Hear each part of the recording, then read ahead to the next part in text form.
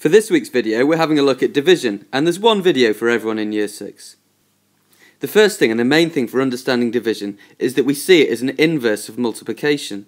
Here, I've got 18 circles, and if I'm doing 18 divided by 6, I'm asking myself how many sets of 6 are there in 18? There are, of course, 3. Now, that very principle, seeing division as how many lots of this number in that number, must stay with us when we're doing harder questions. There's another really important principle that we need to understand. When we're multiplying, it doesn't matter the order of the numbers in the multiplication. 6 times 3 and 3 times 6 give the same answer, 18. That's not the same when we're dividing. Here we can see that 8 split into two groups is 4.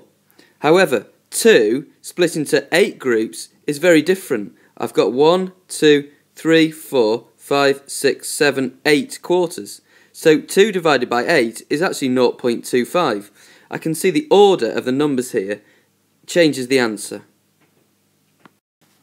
Now, I'll just emphasise again, when you're dividing mentally, be really clear that what you're thinking about is how many of this number is there in this number. So when I'm trying to do 150 divided by 25, I'd think, well, there's 6 25s in 150, so my answer's 6. Here are some divisions for you to have a go at mentally. Some are easier, some get extremely difficult. See how many you can manage.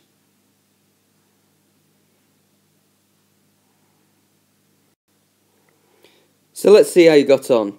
How many 9s in 54? Well, of course there are 6. 9 times 6 is 54.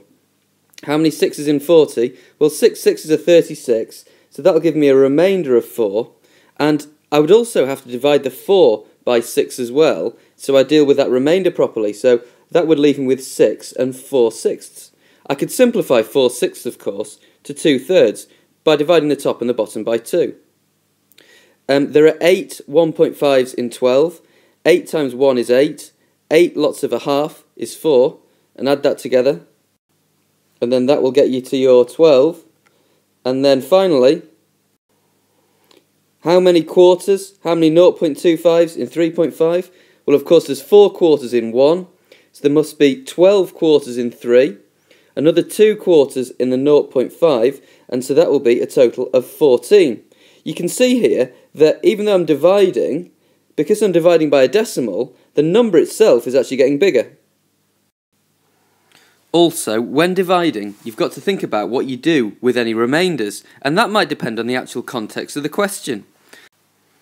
Have a go at these three questions and have a think about the form that the answer needs to take.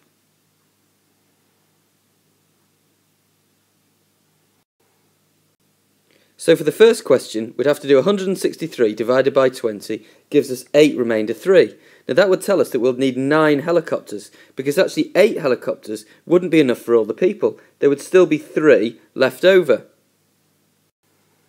For the second question, if the friends each paid £15, of course that would only make £60.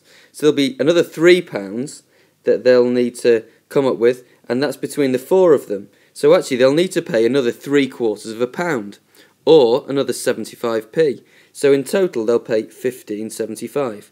Now, of course, in real terms they might feel generous and want to give a tip.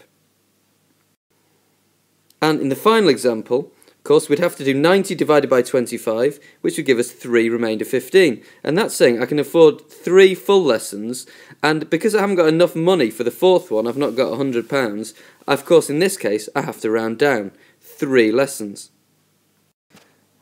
There's two main written methods we use for division, the bus stop method and the chunking method. We'll have a look at both.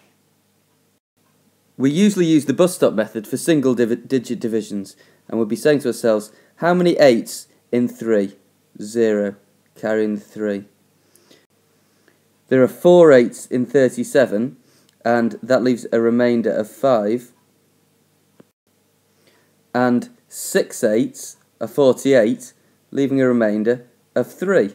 And, and of course, giving that answer as a fraction, that would be 46 and 3 eighths. Now, now, if you're looking for an explanation as to why this method works, have a look at the previous video that we showed you in the autumn term, and that will explain in more detail. Now, for the chunking method, I'll be saying to myself, how many 24s are in 512? And to start off with, I'd work out how many tens of 24 I can fit in. Well, 10 24s are 240, so 20 24s will be 480. Now, I'll subtract the 480 from 512, and that will give me 32. And I'd now say to myself, well, how many more 24s are in 32? And of course, there's just another one. That'll leave a remainder of 8. To work out the answer, how many 24s are in 512, I'll need to add up those two numbers, giving me my answer of 21 remainder 8, or 21 and 8 24ths. Now, of course, I can simplify that fraction to make it 21 and 1 third. Now, here's some questions for you to have a go at. Maybe try two of the mental questions and one of the written questions. Try and challenge yourself at a level that you think's right for you. Pause the video and have a go.